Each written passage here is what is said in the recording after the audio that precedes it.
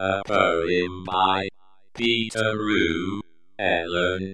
In this leafy orchard is a sparrow, a sparrow, whose song at the sunrise may take me into the light, to heavenly places above, and to the place where lovers talk to the gods.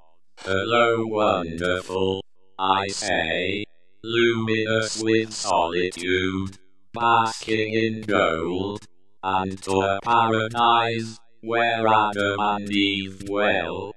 Thank goodness I'm not Adam, or else mankind would never forgive me for always sinning.